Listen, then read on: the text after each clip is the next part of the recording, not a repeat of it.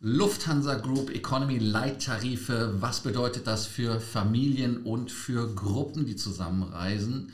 Des Weiteren, die deutsche Nationalmannschaft fliegt wieder korrekterweise Lufthansa.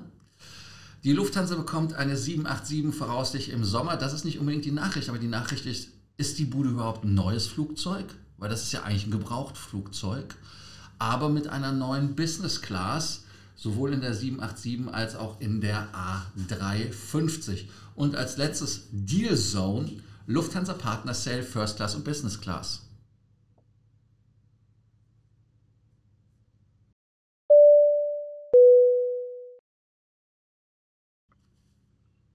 Herr Hoffmeister. Herr Korsten. Wir sind hier, um euch mehr Meilen, mehr Punkte und vor allem auch mehr Status zu bringen. Wer uns schaut, weiß natürlich, dass am Heiligen Sonntag der Lufthansa Group Update Sonntag ist.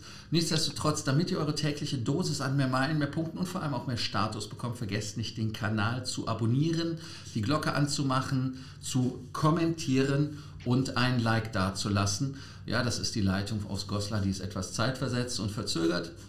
Und ganz, ganz wichtig an dieser Stelle, natürlich die Stammtische. Stammtisch am 12.06. in Berlin, vorher sind wir am 11.06. in München und natürlich in Hamburg am 13.06.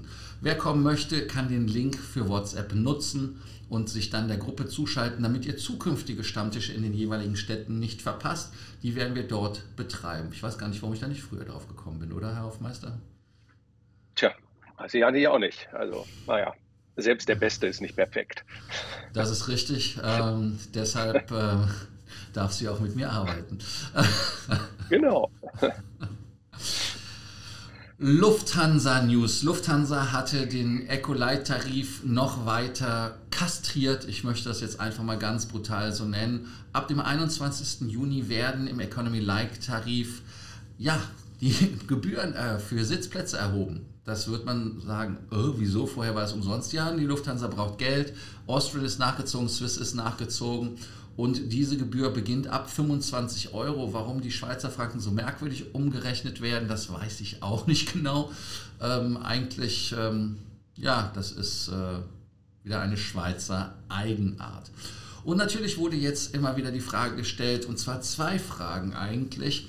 Was passiert, wenn ich mit meiner Familie reise, wenn ich als Gruppe reise, wenn ich als Paar reise? Oder was passiert, wenn ich ein Ticket vor dem 21. Juni gekauft habe? Weil ja in der Bestätigung steht ja, drin Sitzplatz drin. Ne? Ja, ähm, ganz, ganz wichtige Antwort ist, wer als Familie zusammenreist, Gruppe oder so weiter, ihr könnt zusammensitzen. Also man macht das nicht wie bei Ryanair, dass man euch gezielt auseinandersetzt, aber man hat halt wirklich keinen Wunschsitzplatz. Man wird dann irgendwie so zusammengewürfelt. Und die Wahrscheinlichkeit, dass man dann am Fenster und am Mittelplatz sitzt, wenn man zu zweit reist, ist, denke ich mal, tendenziell relativ hoch. Oder Herr Hofmeister, was sagen Sie dazu? Denke, denke ich auch, wenn es denn, wenn es denn überhaupt klappt. Äh, das Lustige ist ja, wenn man äh, wenn man, wenn man früher für die gesamte Familie gebucht hat, ist es nicht nur einmal vorgekommen, dass die ganze Familie, obwohl es da sozusagen noch kostenlos war, seine eigenen Plätze zu reservieren, die ganze Familie im Flugzeug verteilt war. Also ich bin sehr gespannt, wie das System das jetzt hinbekommt. Und witzigerweise waren oftmals auch die kleineren Kinder am weitesten dann entfernt von den Erwachsenen. Also äh, keine Ahnung, das System äh, ist äh, sehr komplex, äh, wie man weiß. Und insofern, ich bin gespannt, wie es läuft. Ja, wir sind aufgeregt und schauen, wie es wird. Des Weiteren natürlich, was mit gekauften Tickets passiert, die vor dem ja. 21. Juni erworben sind. Logischerweise ist das Bestandteil eures Kaufvertrages und ähm, das muss Lufthansa gewähren. Also da wäre ich ganz schmerzbefreit ja. und würde das natürlich denen ganz klar sagen. Das ist der Sitzplatz, da sitze ich. Wobei übrigens eine Sache ich auch festgestellt habe, wenn man Tickets vergleicht, die Preisdifferenz zwischen einem Economy Light und einem Economy Classic, wo der Sitzplatz ja drin ist, das ist manchmal gar nicht 25 Euro, das ist schon mal ab und zu mal auch weniger. Ne? Also immer Augen auf beim Ticketkauf. So. äh, manchmal, man, man, ja, manchmal, ich hatte es auch schon, dass die Sitzplatzreservierung äh, in der in der Economy nur, weiß ich nicht, 6, 7, 8 Euro billiger war als ein Kurzstecken-Upgrade äh, von in die Business Class. Äh, das heißt also, äh, wenn, wenn, wenn, der, wenn das Upgrade irgendwie nur ein paar Euro mehr kostet als die Sitzplatzzuweisung, die du für teuer Geld bezahlst, ja, dann würde ich doch lieber ein Upgrade nehmen. Da ist der Sitzplatz dann ohnehin drin, den du dir selber reservieren kannst. Und du kriegst auch, wenn man Glück hat, sogar noch was zu essen. Ja, Essen ist auch ein Thema gewesen die Woche, aber das hatten wir ja schon bearbeitet, dass man ja. Essen zusätzlich bestellen kann. Ja, ähm, deutsche Nationalmannschaft, Mario, hast du das Spiel gestern gesehen? War gestern ein Spiel? Gestern war das Spiel, ne? Gestern war das Spiel gegen die Italiener. Also das, was die ja. Spiel genannt haben. Ne? Ein 1 zu 1 gegen Italien, das ist, denke ich, äh, in Ordnung. Ja, aber das Spiel selber fand ich irgendwie speziell. Ja, also äh, ich hatte da irgendwie gar nicht mitbekommen, wie viel, äh, wie viele Spieler im Moment so ausgetauscht werden können. Ich habe das Gefühl gehabt, gegen Ende des Spiels ist die Mannschaft einmal komplett rotiert, aber wie gesagt, äh, da werden die Regeln ja, wie, wie viele Leute ausgewechselt werden dürfen, ja auch ständig geändert. Die hatten deshalb ja auch eine Drehtüre an der Mittellinie, weil die Leute einfach nur. Ist so. Ist so. Aber egal. Man hat sich mal ausprobiert. Es sind ja letztlich Vorbereitungsspiele für diese merkwürdige WM im, ja, zumindest im winterlichen Europa. Da, wo gespielt wird, ist es ja ziemlich warm. Ja, wobei in Doha ist natürlich, wenn, also ich sag mal so, wenn du so, ein, so einen Sommer hast, wie wir in Helsinki haben, das ist in Doha ein, ein schlechter Winter. Ne? Also das muss man halt ja. der Ehrlichkeit halber sagen. Ist so. Aber warum wir uns über Fußball austauschen und ich bin eigentlich kein ausgewiesener Fußballfan ist, seit 2018 ist die Nationalmannschaft nicht mehr mit der deutschen Lufthansa geflogen, hatte also diese Fanhansa verlassen. Und äh, liegt das daran, dass die mit Lufthansa geflogen sind, Mario? Was ist denn da überhaupt los gewesen? Warum sind die so lange nicht mit Lufthansa geflogen?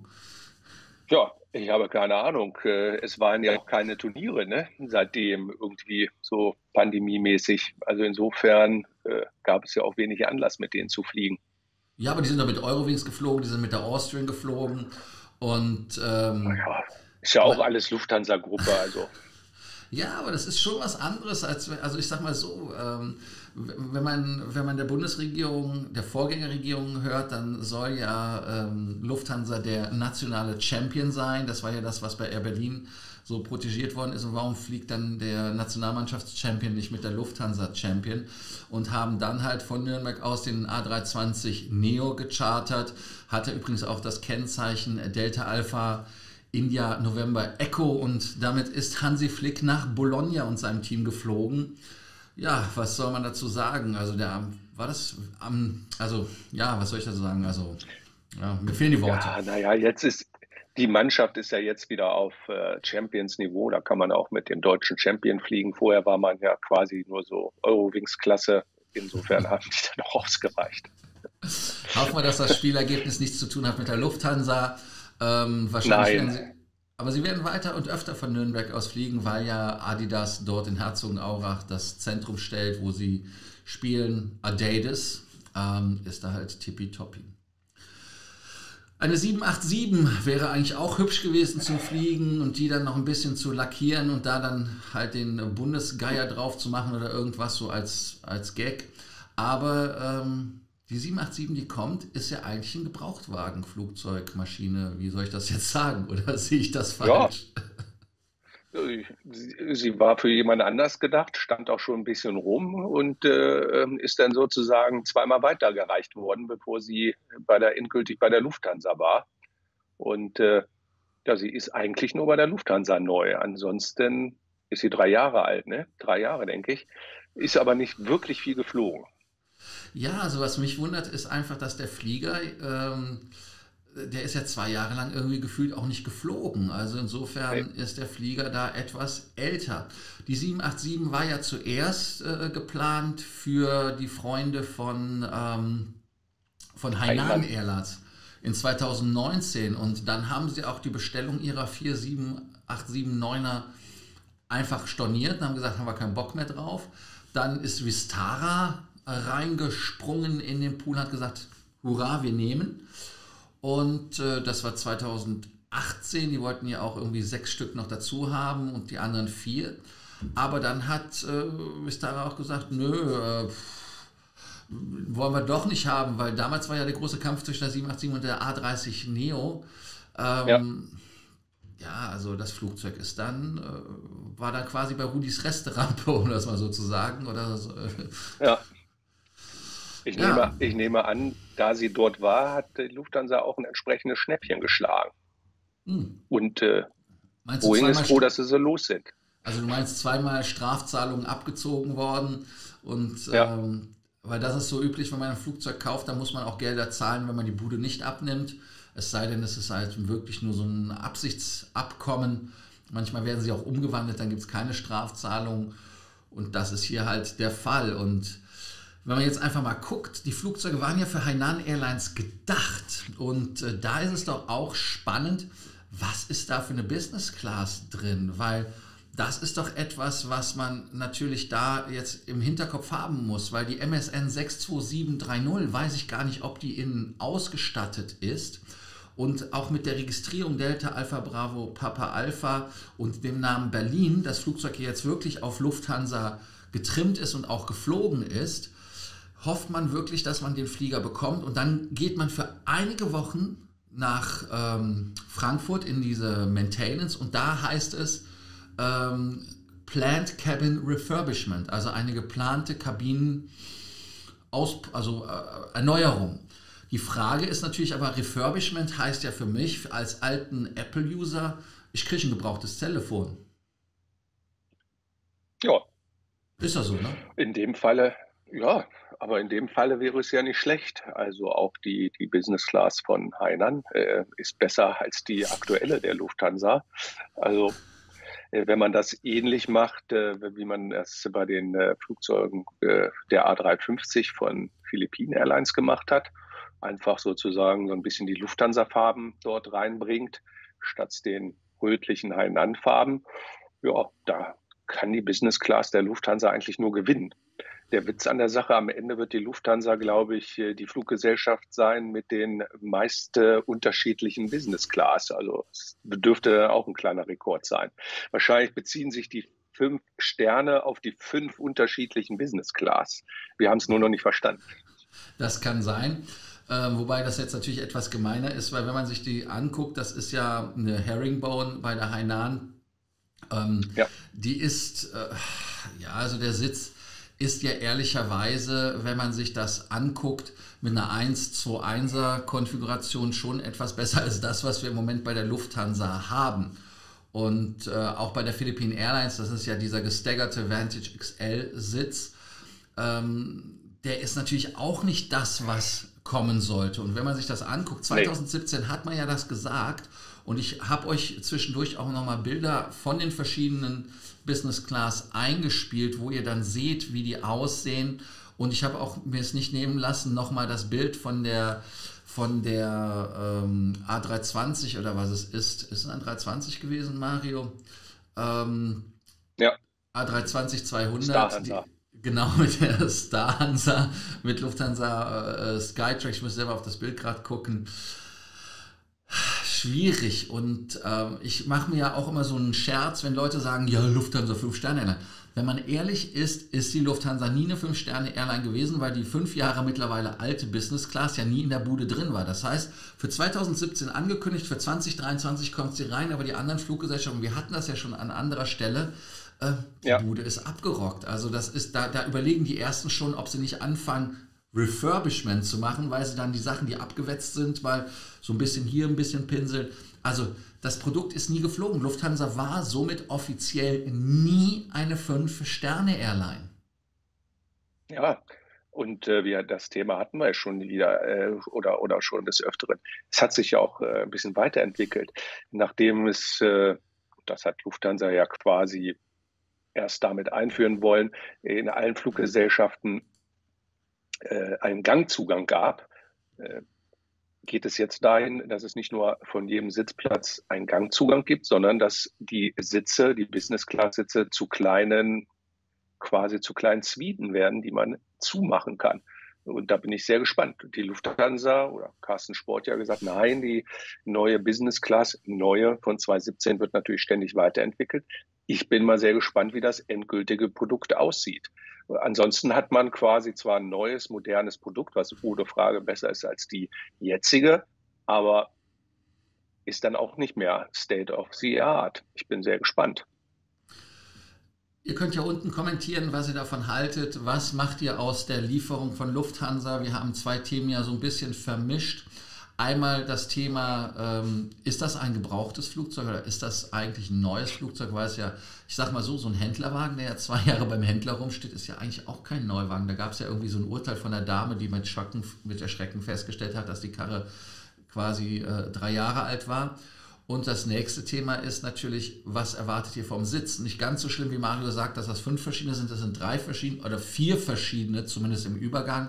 Die alte, dann äh, ja. die Philippine Airlines, äh, der Vantage-Sitz, dann ähm, Hainan die ähm, Fischgräte und dann der Lufthansa-Sitz. Ich habe euch alle Bilder da nochmal reingesetzt. Da könnt ihr sagen, was ihr davon haltet. Und natürlich, wie immer, die Diskussion, äh, die ich leiden auf hohem Niveau finde ist eine Tür in der Business Class Pflichtveranstaltung für eine Fluggesellschaft oder nicht? Oder sagt ihr, mir doch egal, wenn mir jemand aufs Essen guckt? Also, das wären so jetzt meine Fragen. Hast du noch eine Frage an unsere Zuschauer? Nein, äh, die einzige Frage ist, wie findet ihr denn die Business Class von Hainan? Ganz genau. Ja, nächstes Thema, Kompensation. Nachdem die Lufthansa ja sehr viel auf Nachhaltigkeit setzt, man ja Lufthansa Private Jet still und heimlich beerdigt hat, weil das nicht mehr zum Konzern passt, hat man bei der Nachhaltigkeit festgestellt, wir vergeben Punkte. Dann hat man festgestellt, die Leute haben dann irgendwie nachkompensiert. Mario ist ja auch schuldig, dass er dann auf einmal nachkompensiert hat. ja. Kompensiere. Kompensiert. Äh, CO2 logischerweise. Jetzt gibt es diese Kompensationsmöglichkeiten bei der Austrian und bei der Swiss. Bei der Austrian wundert es mich nicht natürlich. Warum? Ganz einfach, weil da Annette Mann, die Dame, die dafür zuständig war bei Lufthansa für Nachhaltigkeit, jetzt CEO von Austrian Airlines ist. Und sie hatte auch gerade wieder auf LinkedIn gesagt, dass ihr das Thema am Herzen liegt, was natürlich richtig und wichtig ist. Deshalb war es für mich auch nur eine Frage der Zeit, bis das bei Austrian reingekommen ist. Aber man kann das jetzt bei der Buchung dominant feststellen, dass man CO2-neutral fliegen kann. Ich habe jetzt auch irgendwie einen Kommentar gelesen mit diesen Sustainable Aviation Fuels, mit den SAFs, dass die ähm, dass, dass da auch nicht so ganz alles tippitoppi ist, weil man natürlich auch festgestellt hat, das war übrigens auch eine Geschichte, ich weiß mal, Markus Lanz, da ist ja dieser, dieser Biofuel-Anteil. Äh, in USA ist ja dieses, bei uns ist es ja, glaube ich, in Deutschland E5, E10. In USA ist es jetzt mittlerweile ja. E15, also 15 Prozent muss zugemischt werden. Aber es wird aus Getreide gewonnen oder aus Weizen. Und wir haben ja eine Knappheit an diesen ganzen Geschichten. Bierpreise sollen ja auch erhöht werden deshalb. Deshalb ist meinen Augen das so ein bisschen Greenwashing und Greenbashing äh, äh, angebracht von beiden Seiten. Greenwashing von der Aviation, Greenbashing von Greenpeace, glaube ich, die da auch vorne sind.